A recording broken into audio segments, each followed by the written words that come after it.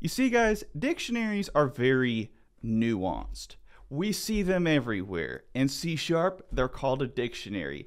In Java, they're called a hash map. But what would actually drive somebody to use a dictionary when we could just use a regular old list? And there's many ways to answer this question.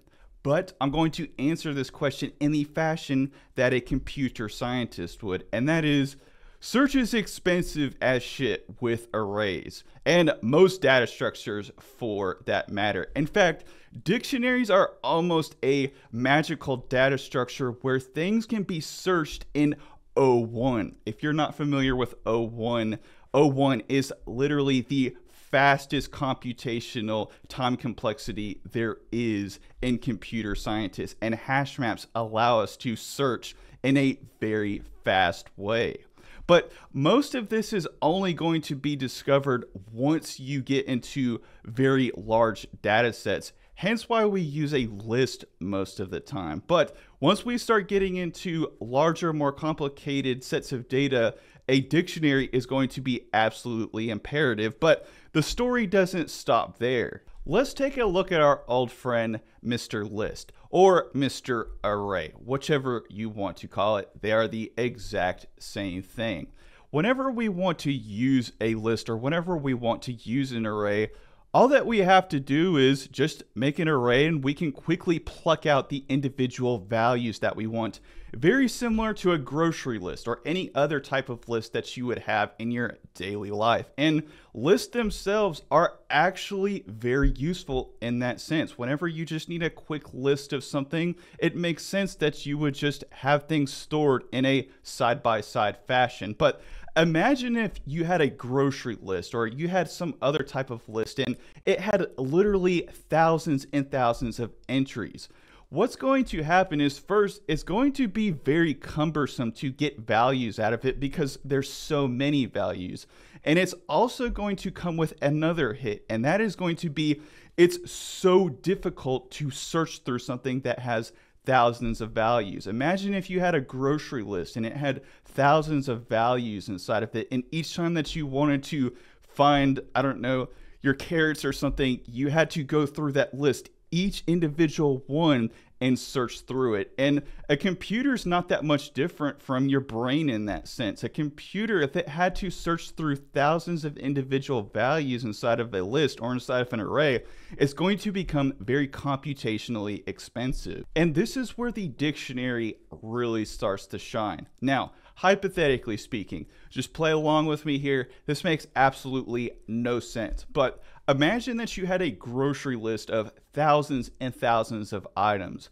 Wouldn't it make more sense to actually store the item in a key value pair where, where you could actually store whatever type of grocery that you're buying in the form of a word? Well, that is the beauty of dictionaries. We have these things called key value pairs, and we can store things as a number or any immutable data structure, but most likely it's going to be a string. And not only do we get the added benefit of just not having to memorize all of these numbers and access things in a index-based fashion like an array, but we also get the added value of extremely fast search. But how does this magic happen? How is this crazy search magic actually happening under the hood? When you actually utilize a dictionary, when you actually utilize a hash map, what's going to happen is the computer is going to run the word that you input into the dictionary through what's called a hash function. And this hash function is going to produce a number that's going to be tied to the actual key that you inserted. And whenever you insert it, it's going to quickly grab the value out of the data structure. And that is why we actually get super fast search because there's no actual iteration happening. It's just producing a number and tying it to that value.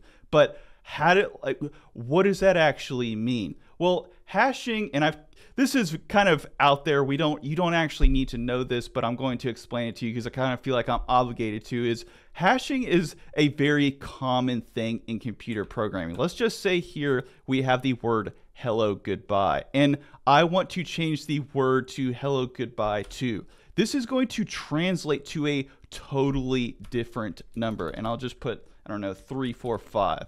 And whenever we want to turn it back into the same exact previous value before, it's going to produce the same exact value. And that is the beauty of hashing. If the same exact word were to be passed, it's going to be passed to the same exact value. And that's why we get these super fast searches because if we were to insert it, it would be able to quickly find it using that hash function. And lastly, we're going to go through a very real life scenario. We're going to go through a scenario where you have an exponential time complexity algorithm, and we're going to juice that algorithm. We're going to get that algorithm to go a lot faster with the power of dictionary. So let's go ahead, let's hop inside VS Code and let's do some coding. So first thing that I'm going to do is I'm going to go over here and create a new class and I'm going to call this solution. Since we're working on algorithm, algorithms is probably best that we break this apart and create a new class just for the actual algorithm. And the actual algorithm that we're going to be working on is going to be the famous TwoSum. This is an incredibly easy algorithm and it's both applicable to daily life and it's also applicable to interview questions as well too. So what we're going to do is I'm going to declare a uh, actual method. It's going to return an int of array and we'll just call this TwoSum. And what I'm going to do is create some parameters. We're going to pass in an array of nums and we are going to pass in a target. Now, if you don't know what a target is, let me explain it to you very quickly and just explain the actual TwoSum LeetCode problem to you. Once again, incredibly easy. All that we're going to do is we're going to search through this array right here and we're trying to find the two numbers in this array that equal 9. And if you just look at this array, the actual numbers that we're going to be using are going to be the same exact numbers. And you can see here that 2 and 7 equal 9. Our very first combo is going to be the answer, but let's just play along here and just kind of do this for learning purposes. Now, there is many different ways. We're going to solve this with a dictionary, but it's imperative that we solve it the bad way. This is going to be the slow, not good way. Then we're going to optimize it with a dictionary. So I'm going to go into here. We're going to create a for loop.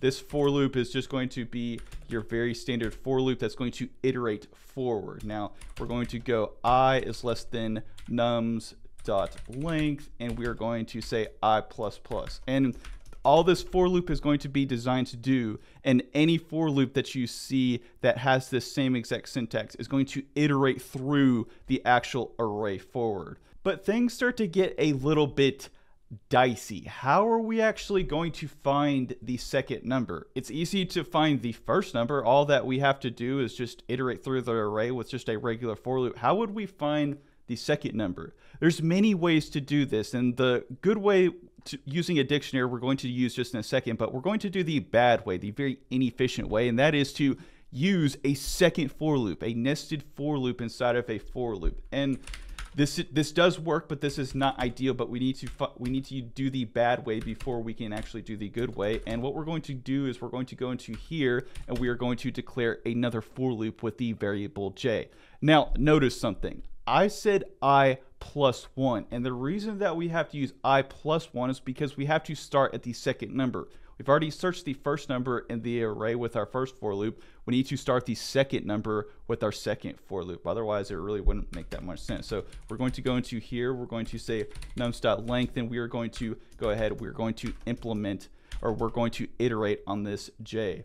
Next thing that we're going to do is we're going to kind of just think about this just as we would solve any other form of a problem. What are we going to have to do? We have to check to add these two numbers to see if they actually equal the target. And all that we have to do is do it with an if statement. And what we do is we say I, uh, or we say nums i, and this is going to access the first element in the iter in the iteration of the first for loop, and then we're going to say nums j, and this is going to access the actual second number. And each time that this actual for loop iterates, is going to go through and it's going to search. First, it's going to search this one, then it's going to go boom, boom, boom, and then it's going to search this one, then it's going to go boom, boom. So all that we have to do is go into here and whenever we actually find the two numbers that actually equal each other we're just going to return them and we're going to return the indexes because that's what LeetCode wants so we're going to here and we're going to return the actual i and the j and let's we'll say ij. We'll close this out with an actual semicolon. Then because this is LeetCode, and if you don't do this, it's going to give you an error. We need to go down here and we also need to throw an exception. And we're just going to say something along the lines of uh, no solution. We'll say no solution right here. We'll go ahead and close this out. And what I'm going to do is I'm going to go ahead, I'm going to copy all of this and we're going to run this in LeetCode. I'll leave the link for the LeetCode problem down below, but go ahead, just slam that and delete code. Might want to spruce this up a little bit, make this look a little bit better. And let's go ahead and run it, make sure that it works, it's accepted, and let's go ahead and submit it. Now I've already submitted this before and LeetCode now has the feature to be able to analyze the complexity right after you submit it. They just implemented this and this is awesome. Let's check out the time. Oh my God, an exponential time complexity. How could we do this? We failed the interview. But we have a secret weapon and that is going to be the dictionary. So the first thing that we need to do in order to actually optimize this algorithm is first we're going to have to actually create a dictionary. If we're going to use a dictionary to actually optimize the algorithm, we need to create a dictionary to store the actual values that we're going to be using to optimize it. And you could use a string here, but I'm going to go ahead and just store an int of an int. And this is the key. This is the value, pretty simple. And it's just a good form of type checking. So, where does the actual dictionary come into play? Well, the real part that's destroying the speed of this actual algorithm is right here. The nested for loop is pretty much a death sentence. If you're using a nested for loop in any type of algorithm, it's pretty much going to be exponential time complexity, which is going to cause you to in a sense, fail the interview. I hate to say it, but it's probably going to cause you to fail the interview if you can't optimize it. But we're optimizing it, and we're going to be optimizing it once again with the actual dictionary. And all that we're going to do is first we need to find the complement. Now, we did this before. If you look, we actually did this before. This is the actual complement right here, but because we're going to be uh, doing a little bit more logic right here, we're just going to store it in the form of a in the form of an actual variable. We're going to destructure it a little bit. We're going to have the target minus the nums, and the complement is actually a math term for people who are uh, math whizzes out there. So next thing that we're going to do is we're going to check the dictionary. Now, this doesn't really make a lot of sense yet, but it will make sense here in a second. We're going to check the dictionary key, the first value. Remember, key value. We're going to check the value right here. And what we're going to check for is going to be the actual complement. And this is what we're going to be searching for. After we check this, what we're going to do is we're going to return it. If it contains the complement, we've attained what we wanted. And what we're going to do is just like in the algorithm before, we're going to return the actual indexes and we're going to return it in the form of an array. So we'll go into here and we're going to say the uh, dictionary and we're going to pass in our complement right here. And this is going to this is actually what's going to grab the value out of the dictionary. So go right here. We need to go ahead and add a semicolon. But how is this actually eliminating the for loop? Well that would actually be a very good question. And if we don't find the actual complement, what we're going to do is we're going to add it to the actual dictionary. And this is what's going to store those values almost in the form of a state. Watch this. So we go into here, we're going to say the dictionary, we're going to say if it does not contain the key, and if it does not contain nums i right here,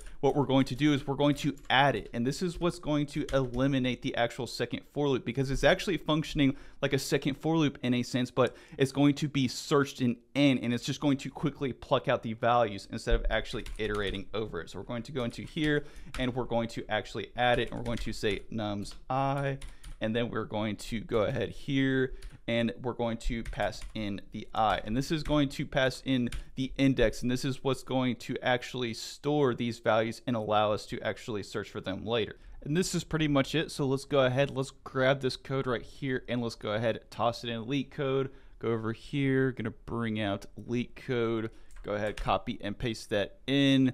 Let's do a little bit of cleaning right here to make sure that it doesn't look that bad. I'm sure that you, you don't have to actually do that, but it does make a little bit of difference. So I'm going to go ahead and run it, make sure that the actual test results come out good, and then let's go ahead and submit it. And let's see how much our complexity went down. If we look at our complexity, what we're going to have is we have n. Instead of exponential, we now have an n complexity, which is passable for a LeetCode style interview. Congratulations, you passed the interview. Anyways, hope that you guys enjoyed this. If you did, make sure to smash that like button, make sure to smash that like, uh, subscribe button, and as always, thank you for watching.